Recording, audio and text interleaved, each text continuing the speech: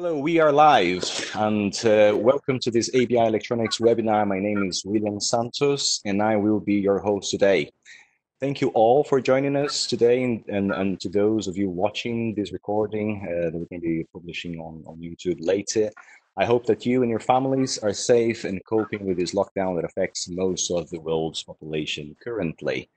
Uh, today's webinar is titled, Are we prepared to repair industrial equipment following COVID-19? Joining me today for this very interesting discussion are experts based in five countries who will be sharing some of their experiences in this sector. For those who don't know, don't know us yet, ABI Electronics is a, UK-based manufacturer of advanced diagnostic and component level uh, solutions, okay? Component level repair equipment. ABI started producing its solutions in 1983, right here in Barnsley, South Yorkshire, where I'm speaking from. And our products are used by companies operating in over 20 different sectors, including defense, transport, aerospace, automotive, um, um, industrial services. And our products allow technicians and engineers to troubleshoot and repair electronic technologies down to the printed circuit board or PCB level and component level as well. Now, back to today's main subject. This crisis will, unfortunately, wipe out many companies and brands, making the support of critical systems disappear. We believe that if you work in electronics, automation, robotics, or mechatronics, now is the time to seriously consider upping your repair and maintenance skills down to the component and PCB level. And why is that? Well, to keep production line running and the core business operational, organizations will require technical staff that it stands up to the challenge of maintaining aging assets, assets with little or no support from the original manufacturer. Servitization will also drive demand for people with these skills. And brands that don't embrace this new reality will have to prepare to exit the market. So today I want to explore this question. Are we ready to focus on the opportunities while overcoming the challenges ahead of us? Okay. So this is our panel. And here's the format that uh, we're going to adopt, uh, which I hope is, fami is familiar to uh, uh for, for everyone. So we'll be asking uh, our panelists to speak for five minutes, and then we're going to have a Q&A session that will last roughly around um, 20 to 25 minutes. I'm really grateful for our guest speakers uh, who come from the industrial electronics sector and who have taken the time out to share their experiences with us more widely. I have Ricardo Rodriguez uh, from Brazil. I have uh, Panayotis uh, Tsepinides, or simply Panos, from Canada.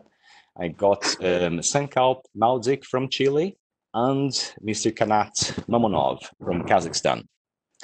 And to wrap it up, ABI product manager in the US, Mr. Fauzi Taha, he going to, he's going to give us a quick introduction uh, to ABI's Boardmaster diagnostic system. Um, and finally, we're going to be recording this uh, this webinar, so um, uh, just just make sure that we can we can share with the uh, the wider audience. Okay, so let me just move to the next um, slide here. Um, well, one of the, the guest speakers that we had lined up for today was Mr. Ray Holden, and unfortunately, uh, Ray was, was was too busy; he couldn't he couldn't join us. But he was kind enough to uh, send us these um, quotes with an update on how he's been using the Boardmaster system from ABI. He sent these, and I quote, just to add a comment regarding the ABI Boardmaster, recently started using it to verify newly manufactured brake cards that failed to work when installed. They were deemed to be not calibrated correctly due to the manufacturer using the original specifications and not the current uh, fleet specifications. We recalibrated all the brake cards using the Boardmaster, and this is done in stages. Initially, uh, no power applied to the, uh, the PCB at first, and then power on, followed by parameter validation. This was a great success and is now the standard process for this fleet repair and test. We also took the opportunity to expand on the logic tables, which never formed part of the original documentation. Great tool to have.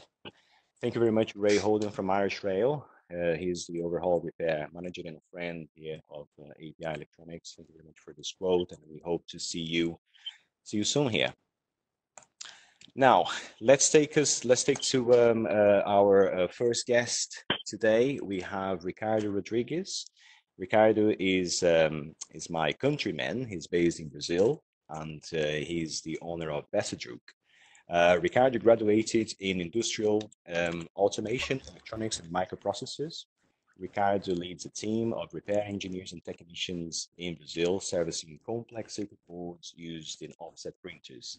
Uh, his team at Bessedruk provides invaluable services to the commercial printing industry in the region. Uh, Ricardo, can you hear me okay? Hello, everyone. It will be a great pleasure to spend this time here with you, where I would like to talk a little about myself and my experience. Uh, I have been working for electronic maintenance since 1998, and since 2011, when I co-founded Bessedruk, I have been working with circuit board repair. And here at Bessedruk, we provide, among others, repair service to equipments for printing industry throughout the national territory and some countries in South America too. So in the past nine years, I have acquired a lot of experience in the process of repair circuit boards at the component level but I confess that the beginning I had many difficulties and I had to overcome some barriers. Uh, since to find obsolete components or to hire a qualified labor, and sometimes you need to uh, train our technician right here. One of the biggest difficulties that I have until today is to get technical information about equipment that will be repaired. Sometimes not even a simple connection diagram is available or or even a simple information about the defect or the way it works. And sometimes customers simply tell us that it's not work, but believe me, sometimes it is. I believe Most you. manufacturers are not interested in providing information about their equipment. So most of the time we need to analyze them and create our own database. Right. Uh, this analysis process, let's say uh, alone in the dark, does not depend only on deep technical knowledge in uh, electronics. Uh, some tools and good equipment are so needed to assist us uh, to, the fi- uh, fault finding process. capable to give you a necessary support to analyze from a simple, complex analogic circuit board to a complex CPU with embedded software from simple switching power supply to a complex motor power drive, for example. Uh, I remember when I started, uh, the search for repair on circuit board was not so common. The priority was to get the equipment up and run as soon as possible. So, as soon as the circuit board was identified as a defective one, the best option was to replace it by a new one. Mm-hmm. But the economic scenario has been changing ever since. Awareness for not produce so much electronic waste, uh, obsolescence, and the choice for cost reduction were added to this equation. Made the circuit board repair the best way now. Uh, because repairing electronic boards, complex or simple, will always be cheaper than buy a new one. So lowering costs is now more important than ever because according to the current world scenario in which factories are closed and production process interrupted, at least at slow pace, just it's not an option, but it's a necessity. You know? Mm-hmm. I believe that once once the company start to resume production, it will still take uh, time to make up for the lost time, and investment in new equipment will be rethought. So, to keep what is working and working well, repair will continue to be the best way. That's why we have to be prepared, trained, and equipped for this demand that tends to grow and be able to provide the necessary support to keep the industry. Thank you. Okay, fantastic. Thank you, Ricardo. Some some very good um, very good points there. I'm, I'm sure we're going to be uh, tapping into some of the subjects you mentioned there, like uh, obsolescence and so on. Uh, but thank you very much for joining us today. Uh, next up, we have Panos so Panos from uh, um, company Epsilon Logic in Canada. and uh, he's probably enjoying enjoying a cup of coffee because uh, it's quite early there. And uh, so Panos runs this uh, international repair business in Canada, in Edmonton, in, and uh, he's an expert in how to find faults. And his company, uh, Epsilon Logic, will repair any fault in industrial kit that comes through the door by day or by night. Welcome, Panos. How are you? Hello, hello to you, everyone. Good, good. good. I'm originated from Greece.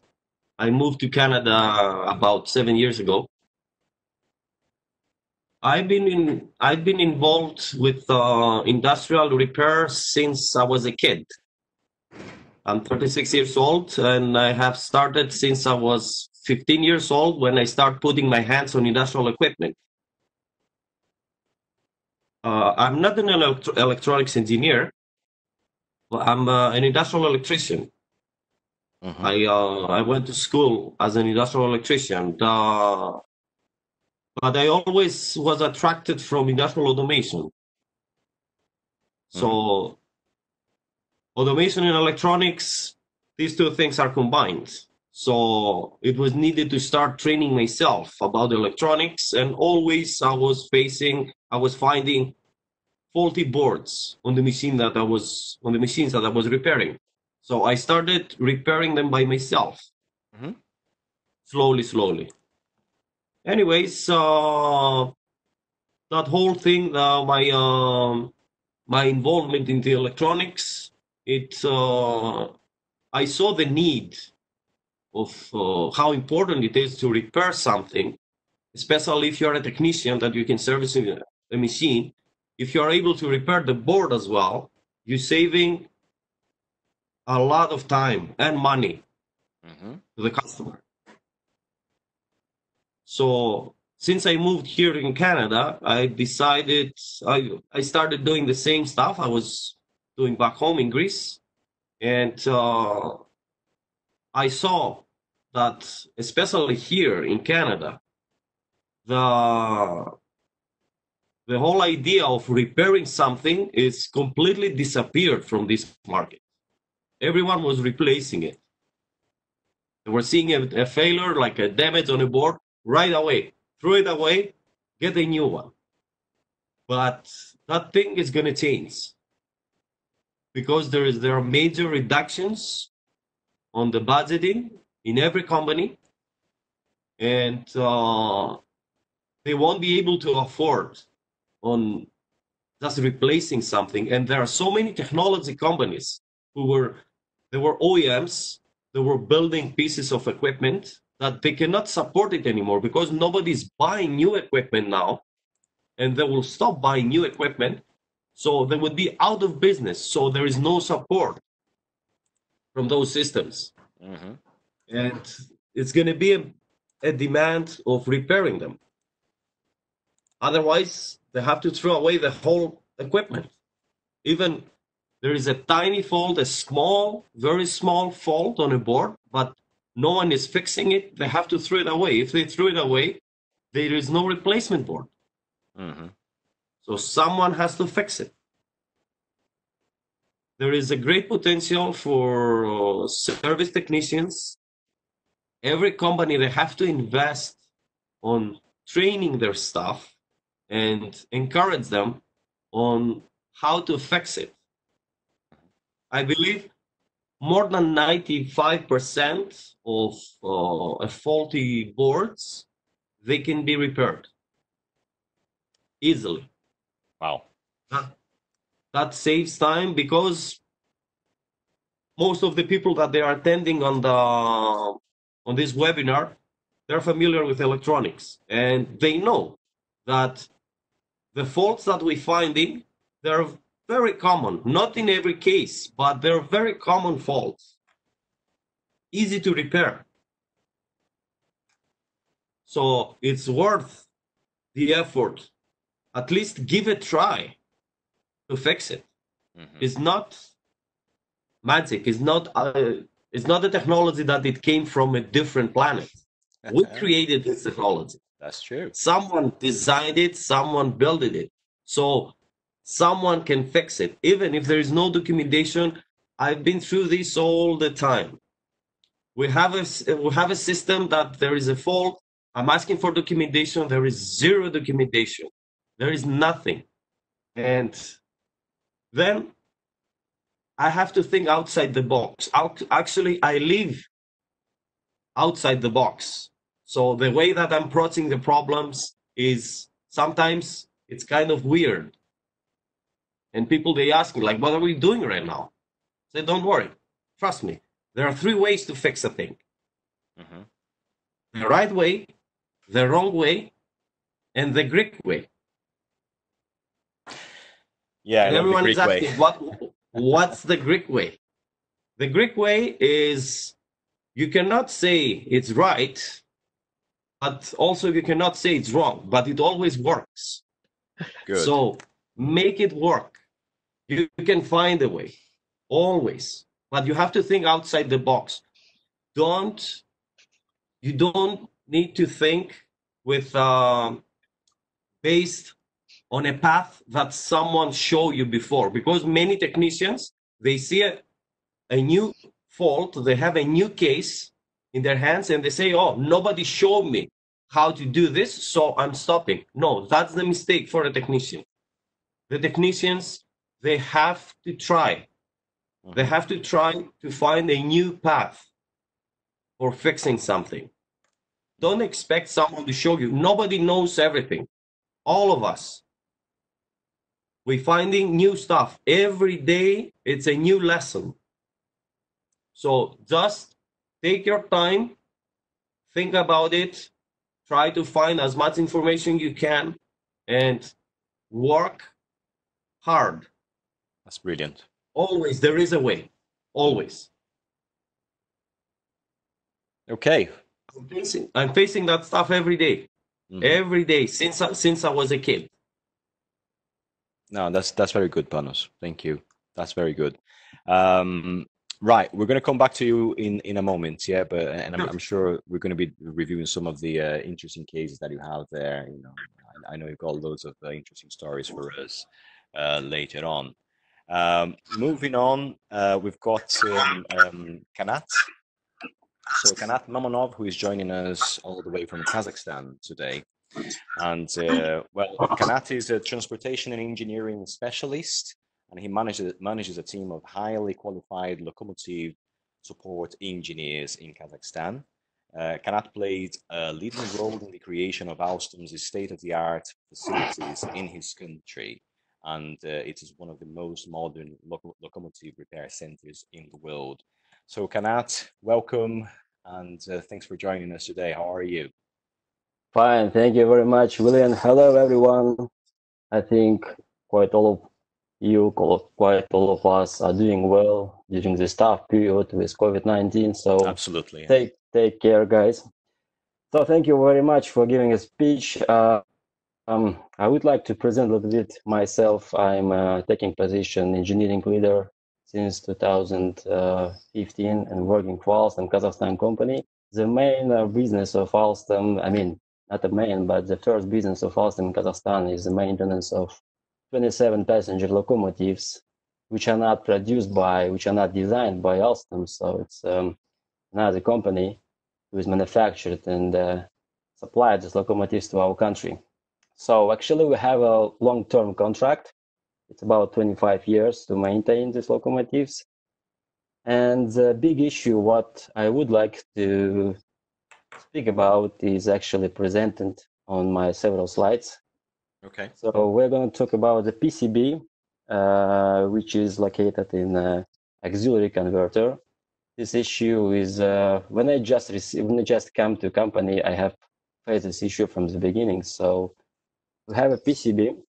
It's uh, taken from control board of auxiliary converter.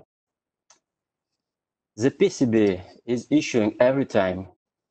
If you can see uh, through the chart, Mm-hmm. We have selected corrective top 10 issues mm-hmm. um, we're facing on our locomotives. So number one is auxiliary converter. You can see during the five years, mm-hmm. it's 227 cases. Imagine, guys, how, how big this figure is. So, mm-hmm. and if you just simply divide it on five years, you will figure out that failures per year is about 45 times, and 80% is related to PCB. So mm-hmm. uh, this is a auxiliary converter, but 80% of these failures is related to PCB. So it means 60, 36 times. And how came that this PCB is so bad? Actually, it is a reliability issue and obsolescence issue. And right. uh, um, those two reasons, those two main reasons, are driving us or forcing us to launch in-house repair. Why? Because obsolescence not allowing us to buy these components any, from anywhere. It is stopped producing, it is stopped being manufactured, so it is just impossible to source. Regarding reliability, it is very high, as you can see from chart.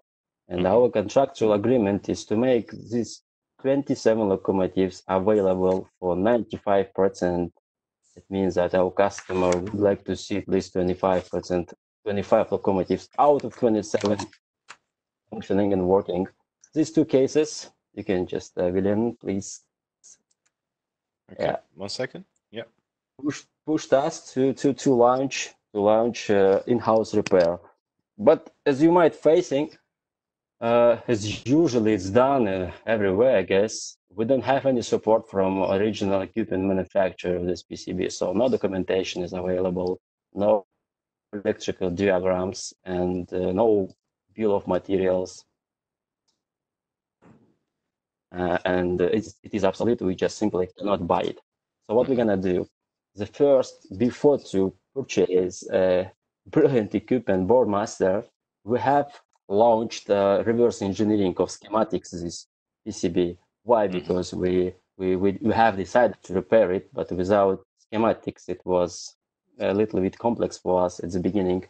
So we have launched reverse engineering. We have obtained a schematical um, diagram of this PCB from our supplier, external supplier who, uh, who has worked on that.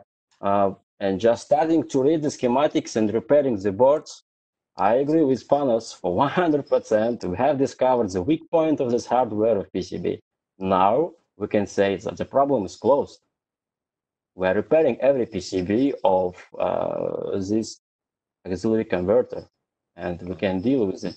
Yes, of course, we can see that the weak point is software. Software, we, we have no possibility to, uh, to duplicate, to reverse engineer software, or even to extract the code.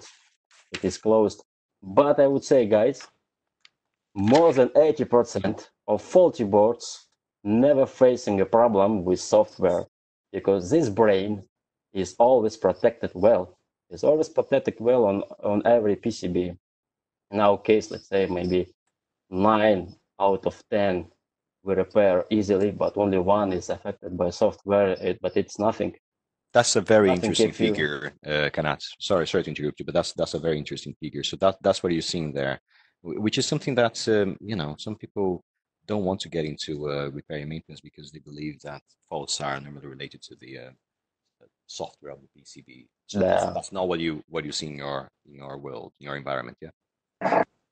Yeah, exactly. So just uh, according to our experience, we have never faced huge amount of PCBs uh, having a failure on software on a microcontroller or or PLC. Yeah? So most of the time it's hardware affected and it's easily can be just repaired by changing this faulty components using a high quality soldering.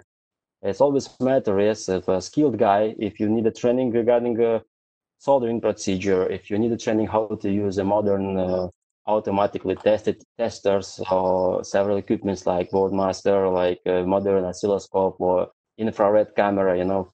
So it's not so big deal. You can just train your skills, your, your person in, in order to develop their skills, and that's it.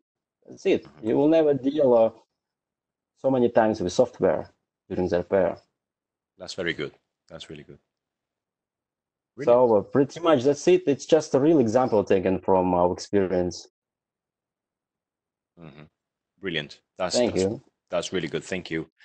Thanks, Kanat. Again, uh, I'm, I'm, sure we're going to have a chance to uh, have time to um, um, uh, discuss some of these points later on.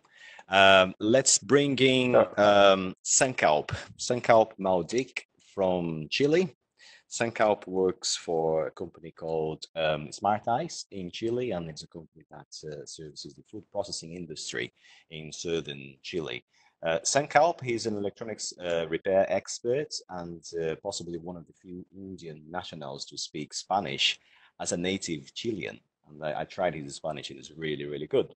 Sankalp loves electronics, and he says that he's able to control his blood pressure using an meter and uh, Sankalp's employer, as I, I, mentioned before, is a technology company supporting the food processing industry in the south of Chile. Welcome, Sankalp. Can you hear us okay? Yeah, thank you so much. Thank you so much for the for the introduction. Um, well, I would like to add a little bit to that. I'm I'm just 26 years old, and uh, after listening to the review from Kanata and Panos, I think uh, these guys have a lot of experience uh, compared to that, my experience uh, has been uh, very short, but very challenging. because I live in this part of the world where the repair, repairing the, the equipment is a big deal. Uh, mm. one for the logistic two for the knowledge uh, three for the the competent uh, technicians that we have around so my, my experience before was about the, the underwater robotics and underwater technology and uh, in that also, I faced the same problem that whenever I wanted to repair something, uh, the, the standard deal, the traditional way was to replace it, you know? So for engineers like me, where's the fun in that? If you want to just replace stuff, uh, we, we, we, uh, what we are, what we do as an engineer is we repair stuff. And uh, in my previous company also, it happened that a lot of uh, documentation was missing a lot of um, software were missing. And so it made a huge deal for me to repair them. But I enjoyed it. Uh, so now I work for uh, a company, Smart Eyes, who, uh, where we uh, offer the service of repairing equipment, industrial equipment. Okay? So that's where I would like to go back. Uh, I'll stick. I would like to stick to the topic. If we are prepared to to repair the industrial equipment, I would say yes, we are. Matter of fact, uh, we are well prepared, uh, way better uh, than ever. So I have uh, I have a lot of my friends uh, who are losing jobs, who are on the edge of losing job, and this is what I tell them: uh, don't consider COVID-19 as a tragedy. Matter of fact, try to look a way out of it. Try to transform this tragedy into an opportunity. Now, I'll give an example um, in this part of the world, here, the, the fish industry, uh, the Chilean economy, eh, the fish industry really runs the Chilean economy. Okay, so the Chilean economy depends upon the, the fish industry, and the fish industry depends upon the uh, industrial equipment, and the industrial equipment needs repair, then needs maintenance.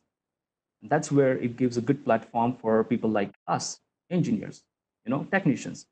So so what happens is um, uh, here the industry is a little bit brutal. They are very practical. They need rapid response.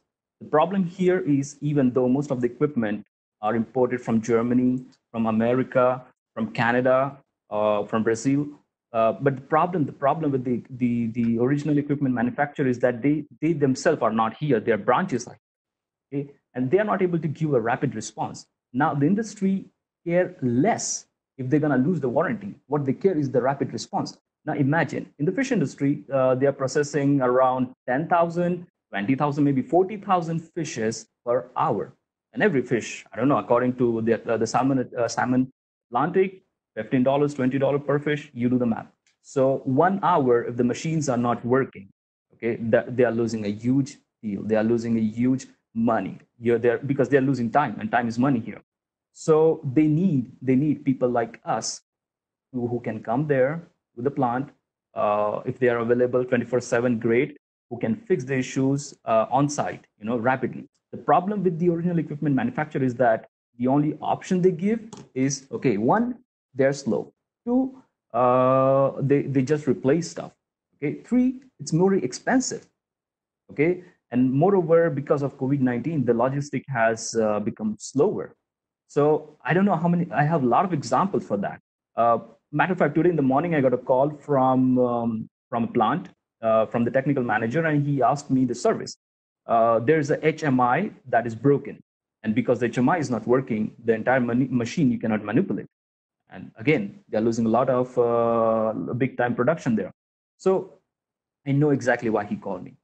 One, uh, if he call, if he calls to the original equipment manufacturer, they're gonna take a while to respond, and the only thing that they're gonna give the solution is to replace. They know they don't need that. This is the time. This is the time where uh, where the economy is uh, is in risk, and we need equipment. We need technicians. We need competent uh, uh, people who can reduce the cost. Okay, who can uplift uh, this this industry, the economy. Okay, and um, so there are a lot of examples i mean can you believe this i went to one of the plant and uh, they had uh, three or four plcs from a german band okay I, am not going to tell you which brand because because of the legal issues but a um, lot of lot of plcs were just uh, thrown away on the ground so i went there to their warehouse and i asked them uh, why they are on the ground why are you not repairing them they said that uh, they were just replaced and we don't know what to do with them. I took them to my workshop, mm. and uh, you won't believe most of them had some silly issues.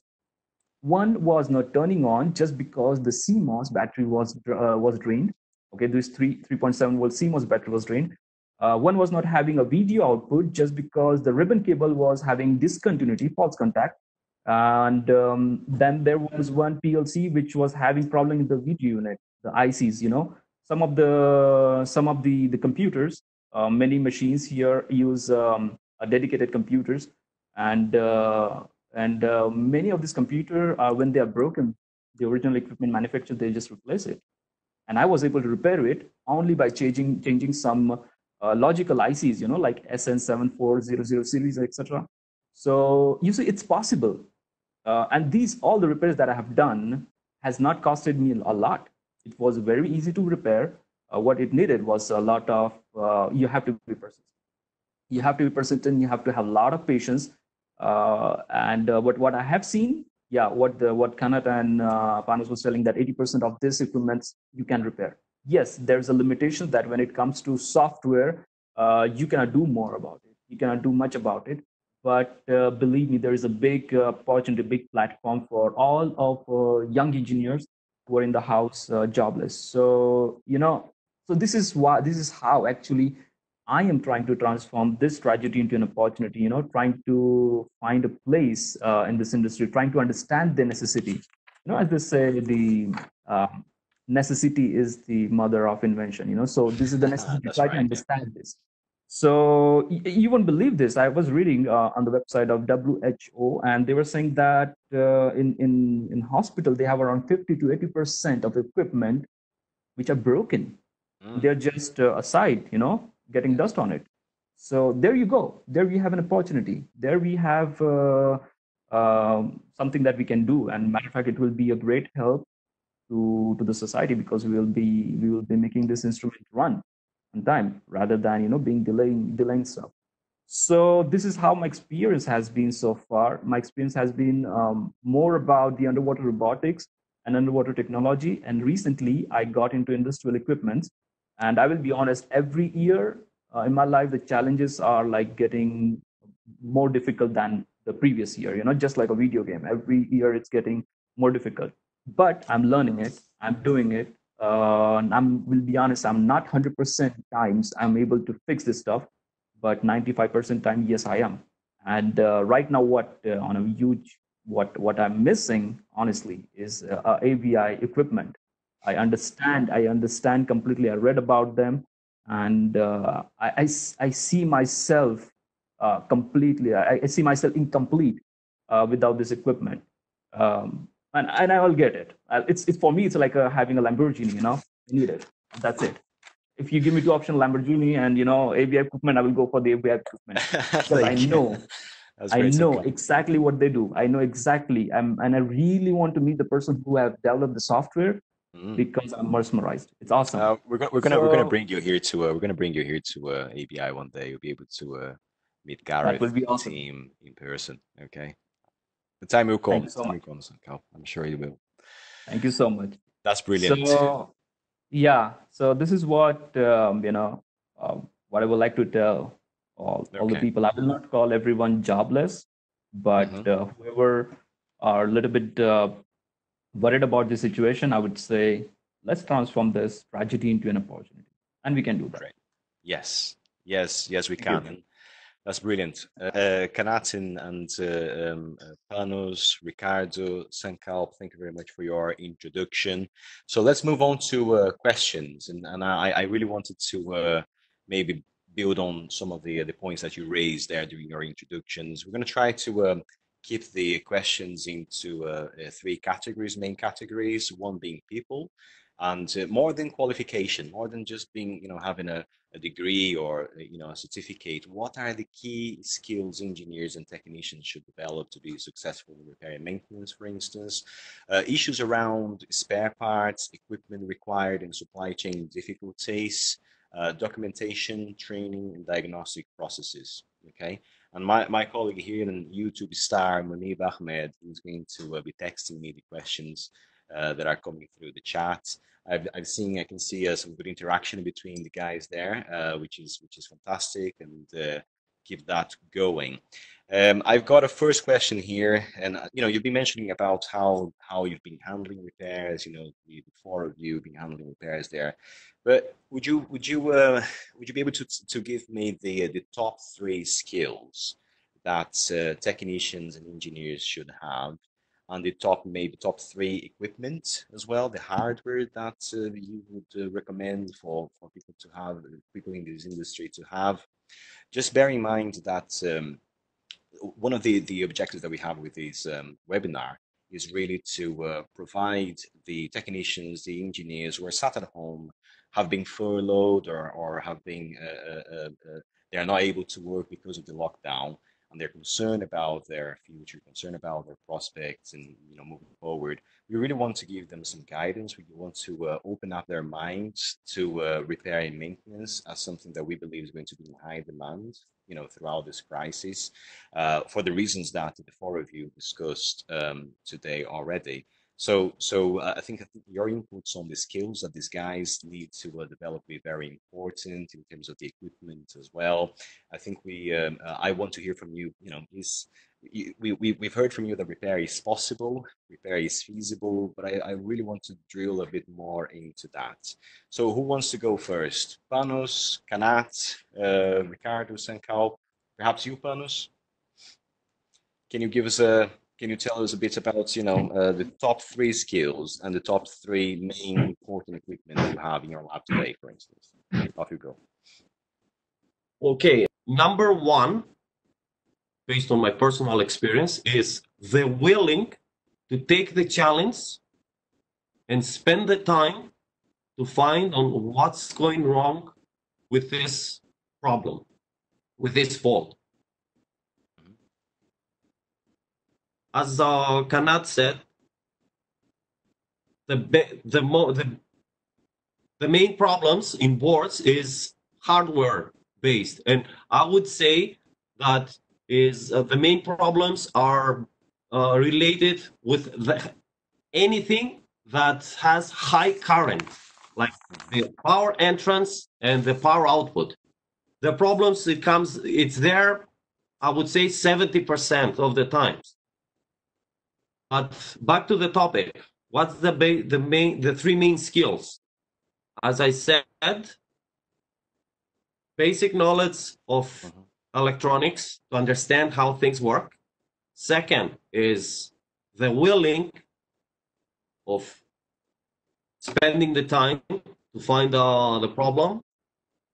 And the third skill is the skill of troubleshooting the skill of uh, you cannot uh, explain that skill uh, in a sentence it's uh, it's something that no one can show you how to be a troubleshooter you have to find your own way because there are several ways there are several ways to do that it's i believe the most important uh, thing for uh, as a as a skill is the willing to take the challenge. for myself, uh, based on my experience. Mm-hmm. I have do, I've been doing this since I was a kid. I always saying yes. I was seeing something that I had zero clue. What is that?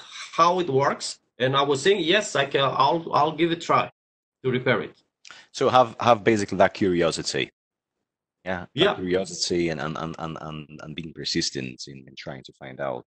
You yeah, know, you have to have the disciplines. The, you have to have the disciplines of and focusing to fix to fix it to make it work. There that's is a great. way. There, it has to be a way. Yeah. No, that's very good advice. And, and in terms of in terms of the gear, you know, the, the repair and maintenance gear, what what do you think yeah. that uh, every repair maintenance you know uh, workshop should have? Maybe the, the top three systems or technology. Yeah, when I when I first started working with these systems, I was working with minimal systems. Most of my repairs, especially back home, it was just with my meter and a simple oscilloscope. Just that. It was hard, very hard. Many times I wasn't able to fix it. But since I came here, I managed, I did my uh, a good survey in the market, and luckily, I found ABI. I managed and I purchased the system. I purchased a Boardmaster system, a complete system, which is uh, definitely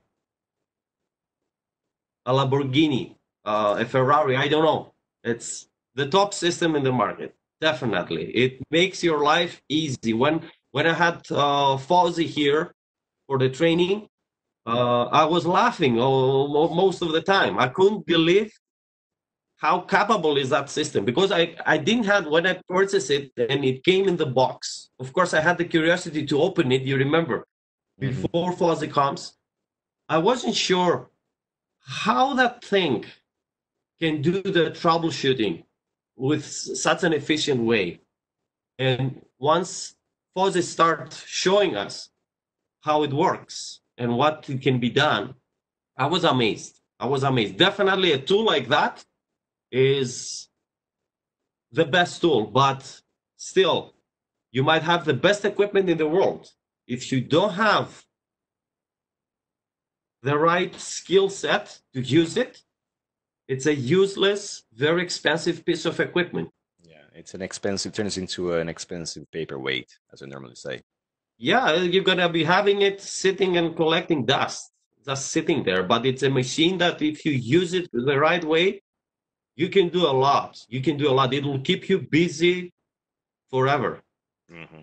It's a great, it's a great piece of equipment. Totally is worth the investment. And I, I got this machine not to open a repair business. I got this machine to, to sustain my maintenance business because, mm-hmm. as I said, I'm facing all the time faulty boards. I'm doing a lot of repairs on uh, CNC plasma cutting machines, and I'm finding faulty boards, and I'm making the repair. I'm, I'm using in my boards, but as soon as the people see that I can do repairs, they start sending me more work for uh, repair, which is which is great. Mm-hmm. Mm-hmm. No, that's that's really good. So so in and apart from from the Boardmaster, you know, uh, the ABI solution there, what else do you think it's it's important, Panos? At least some basic instruments like uh, a multimeter, a portable a portable oscilloscope. It's it's a great tool. It helps a lot.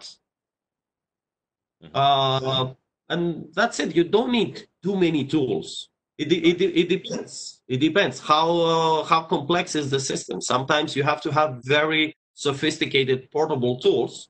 Mm-hmm. This is uh, it's mostly for when you're dealing with very special equipment. Okay, that's good.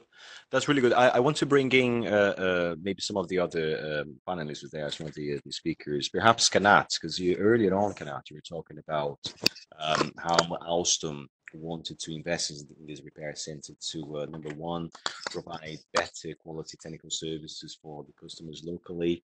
You also mentioned about uh, obsolescence and, and, and, wanting to uh, um, uh, not to be exposed let's say to the risk of obsolescence. And as i mentioned at the beginning this is something that is affecting industry in general. Uh, we're seeing uh, we're seeing uh, um, um, technology becoming obsolete just in, in, just a few years, and the support drops, and you know, and the end user, that end user could be a car manufacturer, could be a um, um, food processing industry or pharmaceutical. They are left with a very expensive piece of kit with very little support. Okay, um, so so when when it comes to the uh, your uh, application, which is locomotive repair and maintenance, and the work that you guys did that so brilliantly. I wanted to hear from you on the same question, top three skills and uh, the three main equipment that you have in your lab there. So, well, uh, I would divide the skills because you have a technical skills to be for sure uh, be present on, on a guy, on, on, a, on a technician or engineer, whoever it is like uh, electrical engineering background, mm-hmm. least ability to read electrical schematics, knowing mm-hmm. principles of passive electrical components or analog IC circuits, digital IC circuits, and just simply understand the function of um, electrical equipment he or she is going to be repaired. Mm-hmm. For, for instance, in our case, it's locomotive PCB, and we know the functionality of this PCB, which are outputs and inputs, and in this case, it's not only um, PCB design skills required, it's also required to troubleshoot a locomotive. So it's always combination of two technical skills like uh, PCB knowing or troubleshooting and whole equipment knowing and troubleshooting where you are taking this PCB off, right? Mm-hmm. If you are talking about skills which is not related to technical, like soft skills, maybe characters, I would say that uh, this guy first of all has to be real motivated to to continue to uh, develop himself in uh, electrical aspects and electrical engineering uh, area let's say. He also has to be curious. He also has to be uh, very he, he, he, he just simply has to love has to love this job because it's always time consuming it's always lack of information. You need to you need to find this information some everywhere. You need to talk to several experts. You need to increase your networking because it's always time consuming. Even to what is repair it's 80% of diagnosis of, of, of the pcb of the faulty, faulty pcb and the rest is just soldering. That's it or you, you will spend a lot of time to, to find the failure in the beginning for diagnosis. In, in this case, you need to collect knowledge every day, every time. So, and this guy has to love, to love this. And uh, it's my personal. Needs to have passion. Needs to have passion, yeah, yeah, passion. Exactly. Right. Um, the second question is about equipment. I would say it's it's it's simple. Uh, starting from personal multimeters, oscilloscope, LC meters, I don't know, semiconductor testers, power supplies, sort of them. Uh, thermal camera, it's like a modern, you know, way of uh, checking the heating elements on the powered on PCB. Mm-hmm. And just uh, finally um, having automotive testing equipment like Boardmaster, you know, Mm-hmm. And pretty much that's it, and everyone knows what's what, what's supposed to be uh, in a common laboratory or common electrical repair workshop. So there's nothing uh, special. But in our case, again, so just to take an experience from uh, my industry, we should have uh, the the build up or assemble some test bench. Because imagine you just take a PCB from equipment. Okay, you have made you have made diagnosis. You define the faulty components. You replaced it. Now you have to test it.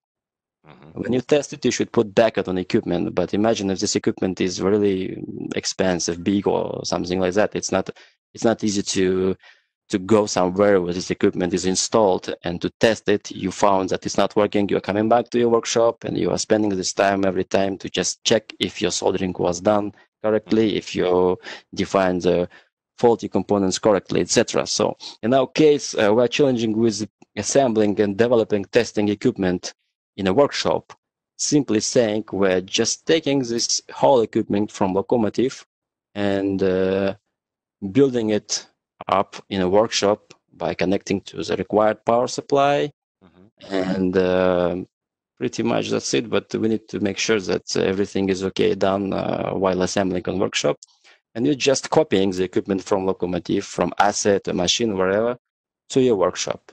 And uh, Yeah, I'm just uh, sharing my experience. The question was about the standard procedures that you and the team there have developed for repair and maintenance, okay, and how important these procedures are for your job. We simply defined what we are going to repair, what is interesting for us to repair. Those items will be listed. Secondly, we have defined what kind of tools, what kind of equipments, what kind of knowledge, what kind of skills, and uh, how big workplace we need. The third, after that, we defined what kind of trainings, like uh, soldering, varnishing, testing, whatever, we should obtain. And uh, then we just set up a workflow or a guidance for troubleshooting and repair and put it on uh, on a paper by validation with uh, electrical engineering, with industrial manager, operational manager, plus quality manager. Mm-hmm. So pretty much everything is documented. Uh, let's say you um, you are facing some problem with locomotive. First of all, the troubleshooter goes over over there, the place where locomotive is located, making troubleshooting, defining the faulty system. Then the system is taking off. You have a procedure how to troubleshoot locomotive, like what what kind of records and reports you have to done after troubleshooting, and you have outputs. You have uh, already signals and uh, you share all of this report with faulty system or equipment to a work, workshop, electrical repair workshop. If I would say the current situation, we already have in Boardmaster kind of test flow for the uh-huh. specific equipment, for the specific uh, PCB uh, we have already um, created and stored. Uh-huh. So, and this guy simply goes through, through this uh, test flow, checking, knowing the reference of the PCB, finding this flow, checking um, this PCB from the beginning to the end. Right. Brilliant. Just comparing with the repair, of course, because it's also written procedures that you need to take the, the good one and to compare with faulty one. But in case it's, it's if it's from the beginning, but if it's already existing, the masks or the uh, testing flow, you don't need any more uh, the, good, the good one. Mm. And you just compare with uh, faulty ones. That's it. Okay. Um, what essential equipment do you have there in, in the lab at uh, Ricardo? So, uh, I think you must have a good multimeter, a bench multimeter. Uh, uh, it depends of the kind of PC boards you repair. We need so um, a very good uh, rework system for uh, iron solder and hot air and tweezers and because you can find can find the defective uh, component but you cannot take it out of the board you cannot fix it so it's it's the part of the process uh, yes. you spend a lot of time to find uh, to find the fault and tests and invest in equipments uh, very good ones you can uh, show which which component is not working. But if you cannot take it out and solder a, a new one again, you cannot fix all the board. You know, so you have you have to have, in my opinion, the most important is the, the solder station. Uh, mm-hmm. uh, also, the thermal cameras.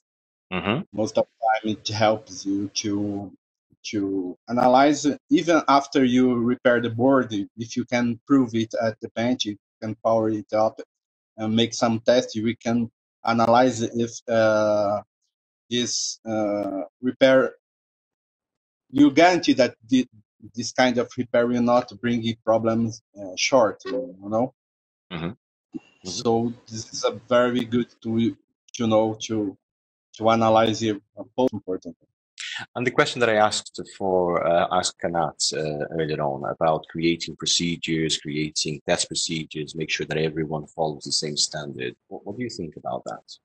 We start as as alive. Uh, you don't want to to start running if you cannot walk. Yes. So sometimes you can fix a board just to look into that. You can see spots of heating and bad contacts and uh, uh, especially in old PC boards, we can see uh, oxidation, um, something like that. So start with looking to the board, talk to her, talk to it, know, look at look at the board, take a take a, a visual analyze. Uh, mm-hmm. Then you start to to prove the most uh, disparate components. Most problems come from uh, diodes, uh, solid capacitor. Mm-hmm. Uh, so you you need to start from beginning, and step by step. Então, so prove the, the, the, the disparate semiconductors, diodes, capacitors, look at, uh, at the solder, uh, and then you can you can you can uh, go ahead. You know. Good, good. And, and and since I since I have you there, Ricardo, I've got another question that has come through uh, to you here. Um, question for you is what kind of what kind of expertise is required to maintain and repair equipment without the help of the OEMs? Because you mentioned that uh, you know repair sometimes obsolete equipment, therefore there's no help from the OEMs. So, what kind in terms of expertise? What do you think? Uh, what kind of expertise do you think is required? Most, uh, most, most important, in my opinion, is to keep the basis. You know, uh, you have you have to you have to have in mind the, the principle of working off a simple component like diodes, like uh, capacitors. If you have it in your mind, you can analyze any circuit. It's not important if the company give you all information. Right. You need to know the basis. You know, mm-hmm. and this is the way to to to go. Mm-hmm. And in, term, in terms of, you know, you get a PCB with no information, no schematics, let's say, you know, you mentioned about doing a visual analysis and checking components and talking to the PCB. I, I love that expression. Talk to the PCB, let it talk to you, and uh, which is which is great, and it's part of the troubleshooting uh, analysis. But do you uh, blow the PCB? You do power on test, or do you do power off test first? What, what do you do, and what kind of gear, what kind of equipment do you use for that?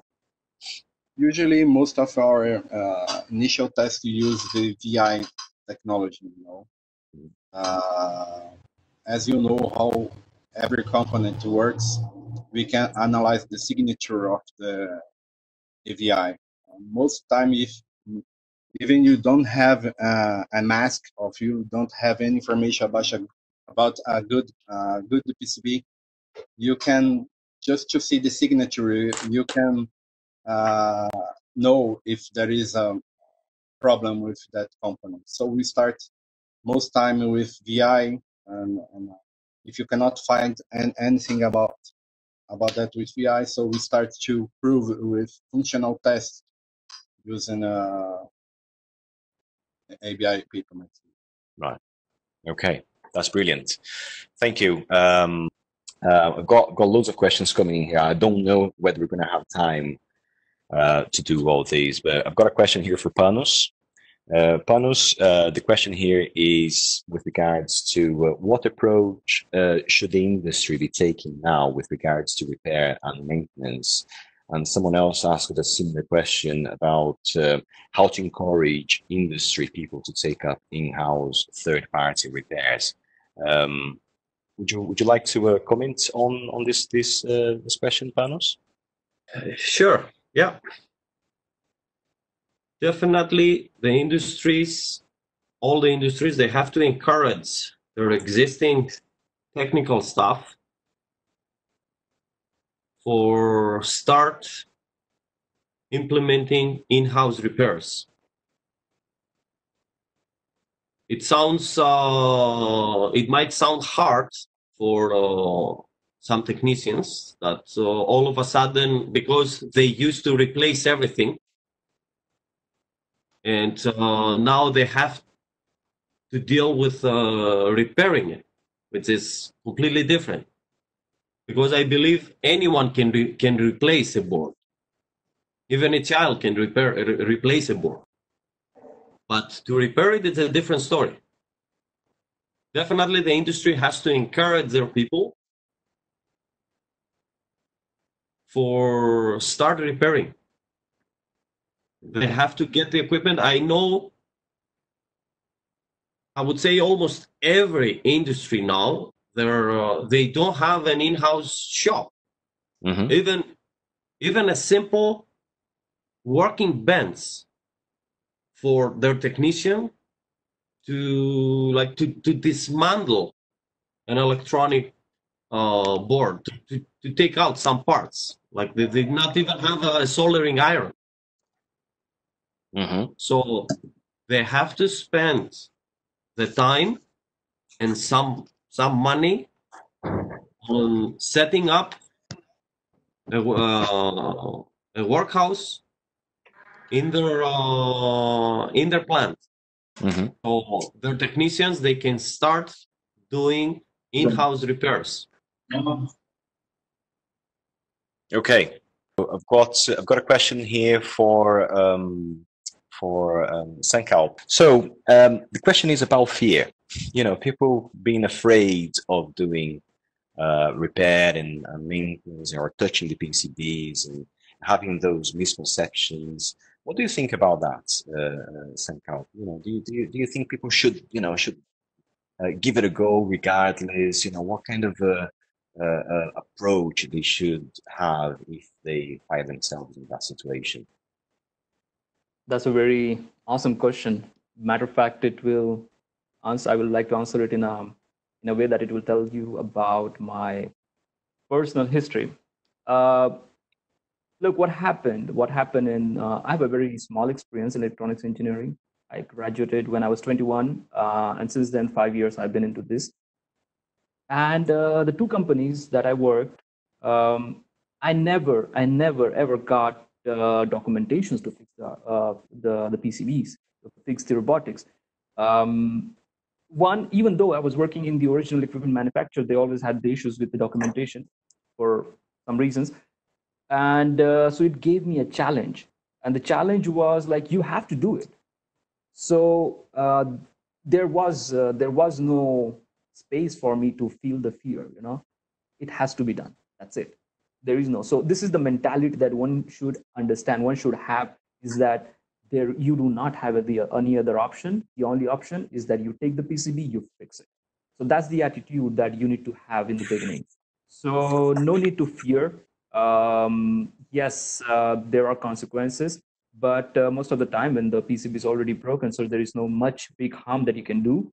Um, so it's it's it's there's a lot of times I uh, get to hear this that okay if you you um, repair this PCB the uh, the owner is gonna lose the warranty from the original equipment manufacturer.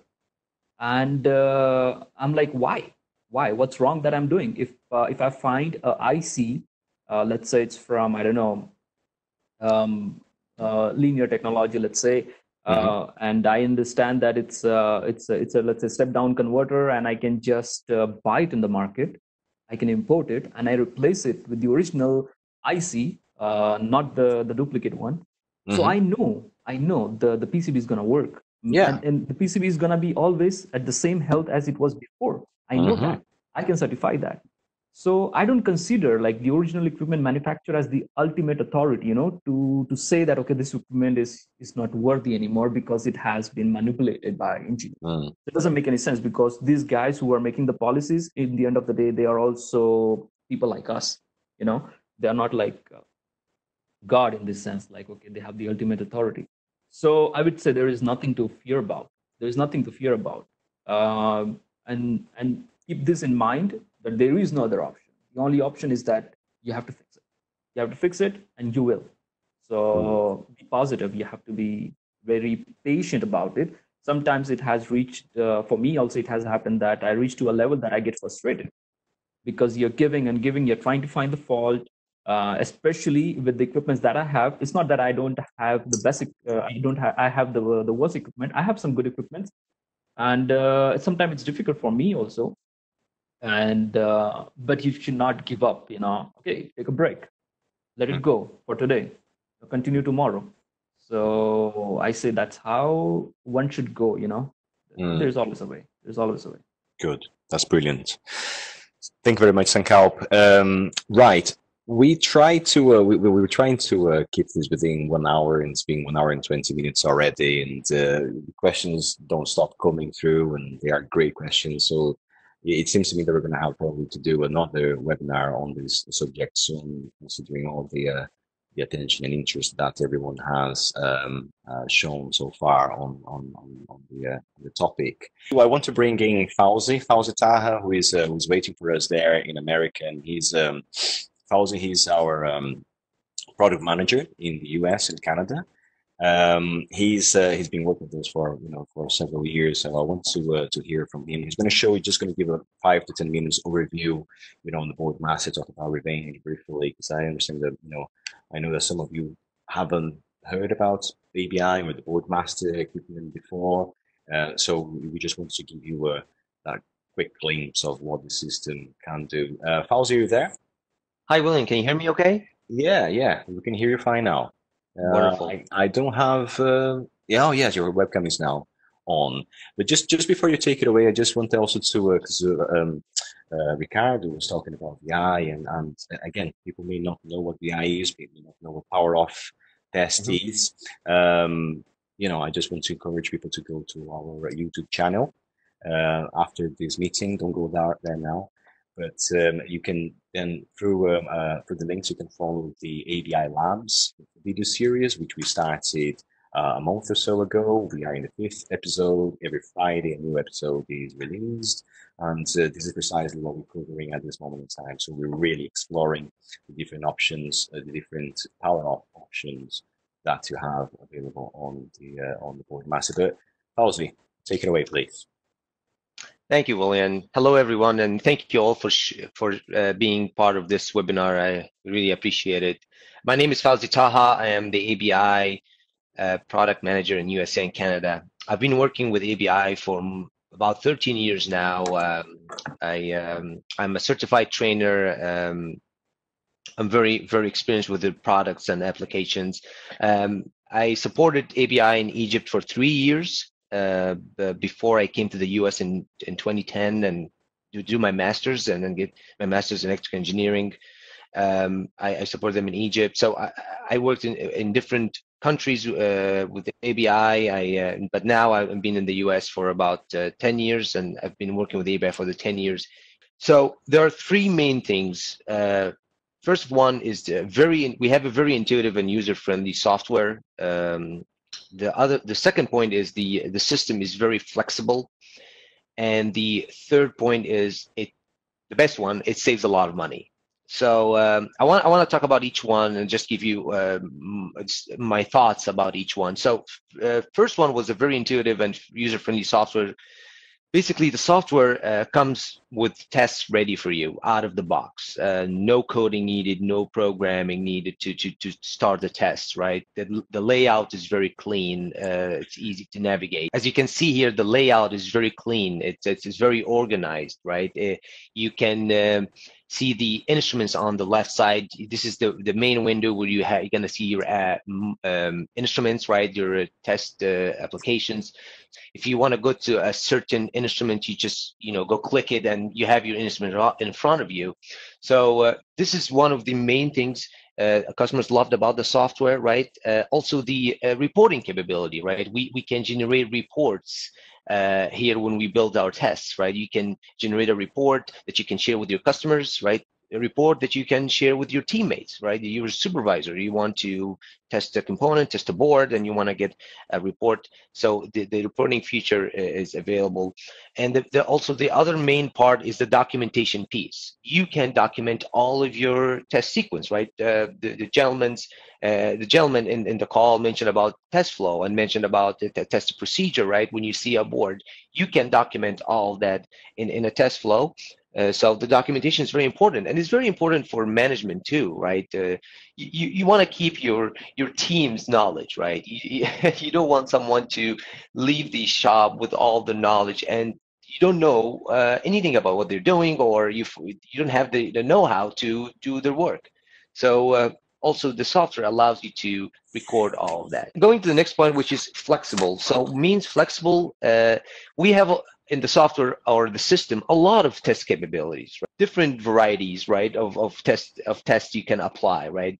We have, uh, I'll give you an example. We have like power off testing, so you can do power off testing at, at a component level or uh, or um, or or a, a, board level. So you can test the whole board, or you can test just a single IC. So this is a good uh, flexibility here. You can do power on and power off. Power on means that you have to power up the board to test it. Power off, you don't need to power up the board to test it. Uh, in circuit or out of circuit. In circuit means the components in board, you can test them while they're in the board, or you can take them out and test them out of circuit. Um, uh, digital and analog. See, so this is the flexibility you have. Um, this flexibility allows you basically to troubleshoot any printed circuit board, right? There's nothing going to stop you from testing a board um, uh, the gentleman on the call mentioned nothing should stop you, right? You can test anything. So easy to use, flexibility. Uh, the main one is saving a lot of money, right? Uh, and saving a lot of money is different from one customer to another. You know, I was I was, I was thinking whether you could potentially demonstrate, uh, do a sure. quick test sure. Uh, for us. Sure. And um, just while we were preparing there, uh, you know, you just touched on a very important point. You know, about money, saving money. How much money can you save? And and that story of the um, National Guard tell us about it. What, what, what, you know, what happened? He, he managed to repair it, didn't he? Yeah, so uh, um, so I went to the National Guard, give them training. They have the Boardmaster system, and this guy, um, his name is Russell. He reminds me with Panos, honestly. He's a very sharp, smart guy, um, good with troubleshooting skills. Knows uh, how to look at the board, how to talk to the board, right? Uh, uh, and and and and and knows where to start. And with the tool he had, the boardmaster, you know, it's it, it's it gave him all he needed, right? Okay, mm-hmm. I need every I need the tools to help me to troubleshoot the board. They had a, a mobile SCIF or like a vehicle, big vehicle, where they keep their telecommunication equipment, right? This mobile SCIF was not functioning at all because they, the HVAC system right? And it was there for, uh, I'm saying a year or two. So it's right there sitting doing nothing because nobody knows how to troubleshoot it. The OEM cannot support it. They, they, they, they don't know how to fix it. This is like $10 million sitting doing nothing. So he, with his initiative and his the tools he had with our system, he decided, like, let's take a look what's going on with the HVAC system or what's going on with this system. So he was able to identify that the HVAC system has an issue and he wanted to do further troubleshooting. See, okay, let's get the PCB from that system and, and see what's going on. And he was able to identify a little simple problem. It's a diode. Yeah. Using our solution, he was able to detect that. So he fixed the diode. The HVAC system is back uh, working, up and running, and the whole SCIF is working.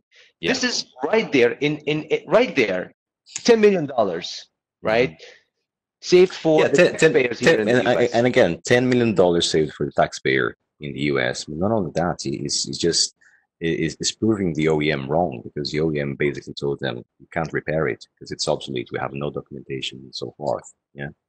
Exactly, exactly, and and that's that's a challenge too with the customers here, right? With people here, with the, the OEM cannot support it, or maybe the OEM even out of business, right? They cannot do anything with it, and they don't know even how to troubleshoot it.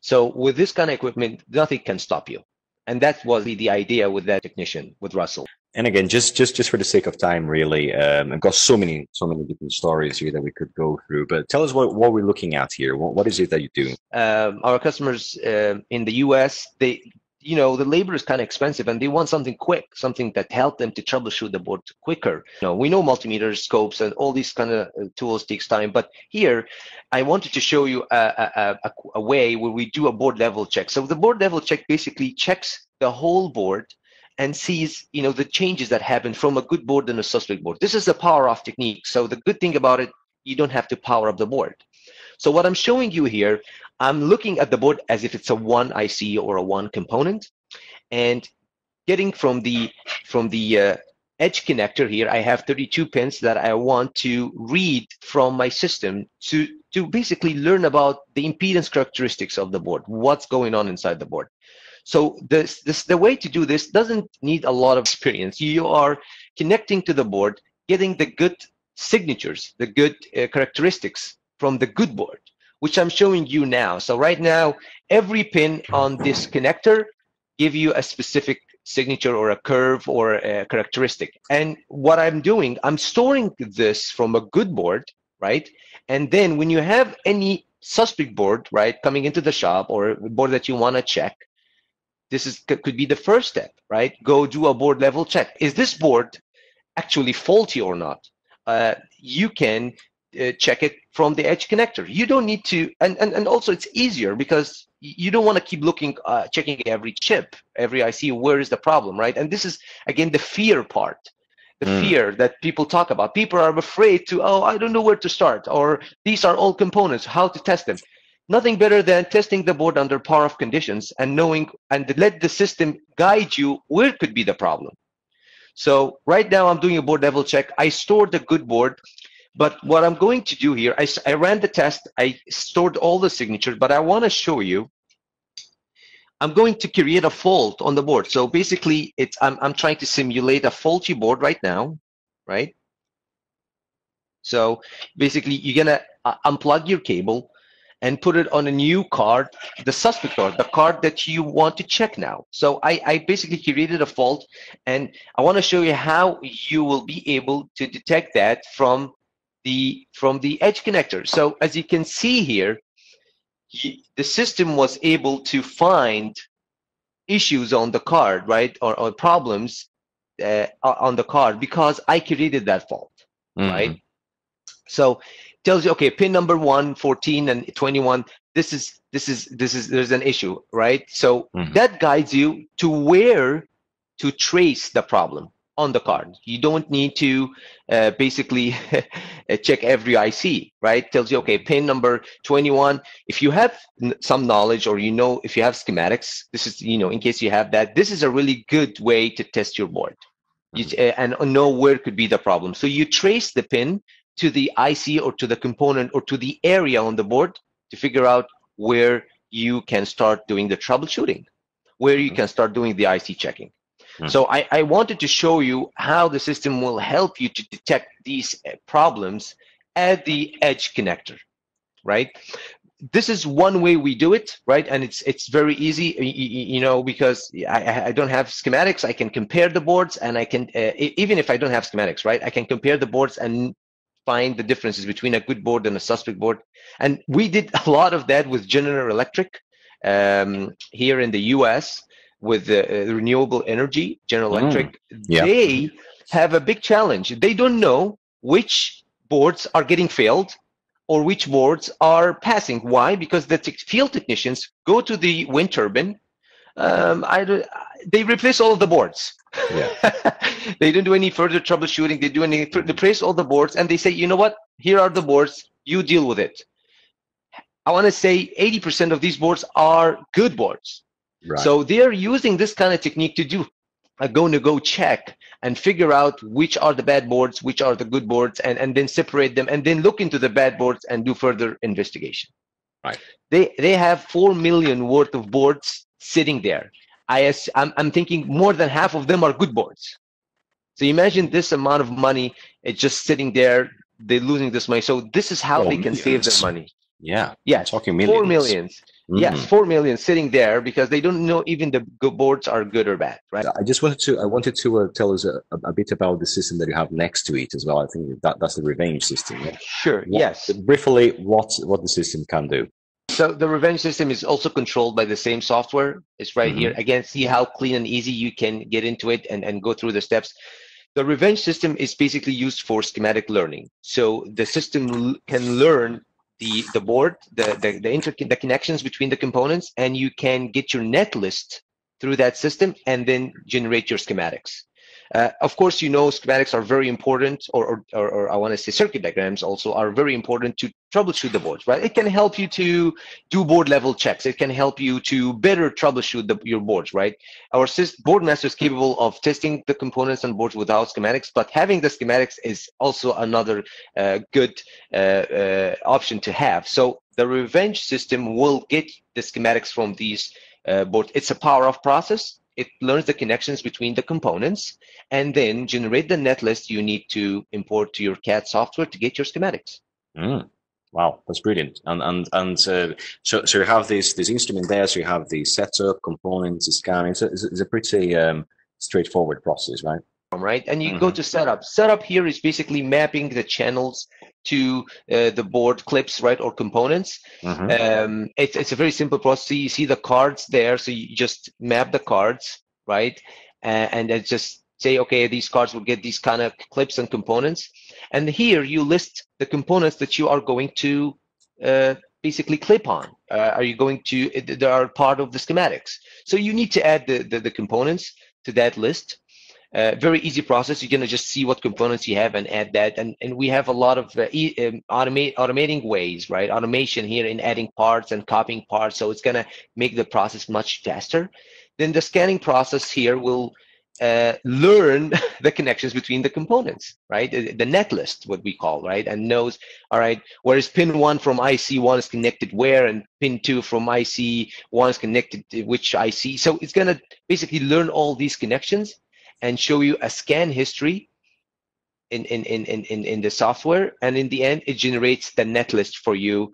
So you can export that file and put it in your CAD software to get your schematics. Okay. Wow. Yeah, that's that's really good. That's um, you know, it, uh, a lot of companies don't, or a lot of uh, in, in, a lot of circumstances, you don't need to you know, recreate the schematic for the whole PCB. You may want to focus just on the uh, section of the PCB where you know historically uh, you, you're more likely to uh, to uh, have problematic you know component uh, your attention and, and use REVENG for that as well. That's possible isn't it uh, yep. Oh, you don't have to do the whole board right mm-hmm. william? We can we can do a portion of the board right or or section that some some customers they they get the schematics from like from from the OEMs and they they are not updated you can update that too, right? You can, uh, you know, update the schematics. You can uh, change, check, check the modifications, right? The different revisions through learning different sections. So you have that capability as well. Brilliant. Okay. Thank you. I think this is this is all what we have, you know, time for um, today, guys. Um, thanks for uh, staying with us, and uh, to everyone who um, uh, who joined us today from all these different countries. We really appreciate you taking the time to uh, come in and, and watch this presentation. I really want to thank uh, Kanat, uh, Sankalp, Panos, Ricardo. You guys were brilliant. Uh, I'm pretty sure that uh, a lot of you out there uh, watching this live or watching the recording uh, will hopefully be thinking differently now about repair maintenance after speaking to these people and hearing them uh, uh, talk about how they are succeeding in repair maintenance. Repair maintenance and repair of uh, electronic PCBs is not just feasible. I think it is uh, a necessity, as some of you said. And this is what the industry should be uh, focusing on. And we, we believe that with the right skills and with the right gear, with the right equipment, with the management that is empowering technicians and engineers to really um, take on the job, they can. There's a lot of money that can be saved. You mentioned about uh, uh, National Guard saving $10 million by repairing a, an obsolete piece of system. We have Lego Mexico, you know, in, in the first quarter of using our systems, they had uh, saved $40,000 in PCBs that we have, would have to be uh, sent for replacement or, you know, sent uh, away for, for repair and maintenance. We have uh, the likes of Metro São Paulo that in five years from internalizing the repair and maintenance processes, they saved $50 million, which is which is you know a lot of money. Renault car manufacturer Ren- Renault from uh, uh, subcontracting all the repair and maintenance, which was basically based on uh, swapping PCBs, bringing PCBs uh, in-house, equipping equipping technicians, training them, using uh, allowing them to use the Boardmaster. They saved uh, one million dollars in 18 months. So there's there, there are many many examples and, and the industry has changed. You know, it's moving forward, and, and, and this is this is what we're seeing here. We're seeing um, companies not just focusing on corrective maintenance; they are investing in technology. AI is playing a part. They're bringing of course, the Boardmaster uh, uh, um, reporting capabilities, all the data that you can extract from the Boardmaster, and, and that's being used in uh, in predictive maintenance, which is again is, a, is the next level. So you don't actually wait for the PCB to break down. You analyze good PCBs and and see uh, you test by testing them. Uh, on a regular basis, for instance, every 3,000 sorry, every 2,000 hours or every six months, let's say, you can see how components are degrading and you can plan the what is the best, most cost-effective way of uh, providing intervention on that PCB, replacing components that are likely to break down, and doing that so way, way before the PCB fails, which reduces downtime, reduces, you know, uh, breakdowns and so forth. So, um, so this is what we wanted to uh, talk about today. We want to really to inspire people to think out of outside of the box, as you know, Sankalp mentioned, and, and being brave, as as Panos mentioned as well, and and uh, and uh, you know that there, there are tools available, and there's technology. Uh, we are here to support you as well. So you know, uh, I'm, we we are pretty sure that um, this crisis, as Panos said, there, there's opportunities out there. And um, if you are, if you're watching these, or if you're watching uh, later uh, the recording, uh, we really want you to uh, think about, you know, what, how can you help your organizations to save money? Okay. And speak to your managers about what you've just uh, discovered today and, and these brilliant stories that we're talking about here.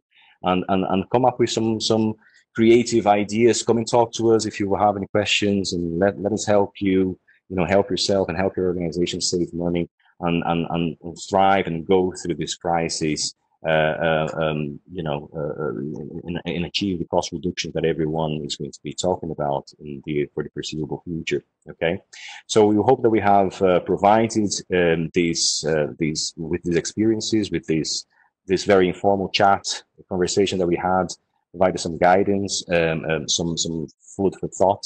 Okay, and uh, we're here to help you. If uh, if you have any questions, you can uh, drop us a comment. You can send us an, email. We are looking forward to your feedback. You know, what did you think about the session? Send us your feedback to either my email, william.santos at abielectronics.co.uk. You can also send to marketing at abielectronics.co.uk.